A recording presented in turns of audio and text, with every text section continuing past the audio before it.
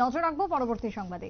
বৃষ্টি এবং তার ফলে যে বন্যা, আর এই বন্যার ফলে যে জল বাড়তে থাকে, যার ফলে কোনটা রাস্তা আর কোনটা পুকুর সেটা একটা সময় গিয়ে বোঝার দায় হয়ে পড়ে। আর ঠিক যার ফলে মৃত্যু হলো জলে ডুবে এক ছাত্রের। এক নবম শ্রেণি পড়ুয়া প্রত্যুষ ভৌমিকের মৃত্যু হলো জলে ডুবে। বন্যার বন্যার ফলে পুকুর একেবারে ভরাট হয়ে পড়েছে, আর যার ফলে একেবারে বিপদ ঘনিয়ে এলো।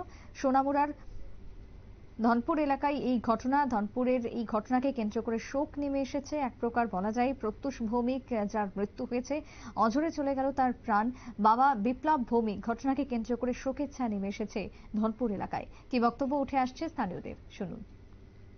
কলেরা কামড়ায় মাইরা লাইছে। এর থেকে তার একটা আত্মশোক আইছে।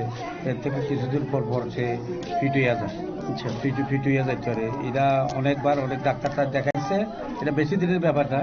আজ হয়তো মার্চ, মাসের থেকে এরকম হয়ে আইছে তো এটা থেকে এরা তার এই নিজের যে আক্ষেপ যে এটা আমার পালিত পশু কুকুরে ভেবে মারি গেছে, এটা আর সে সহ্য করতে পারছে না।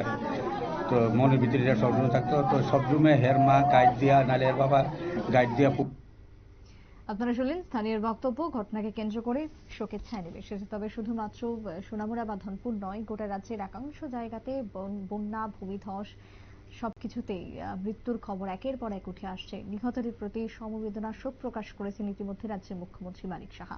ছোট একটা বিরতির পর ফিরে আসব, সঙ্গে থাকুন।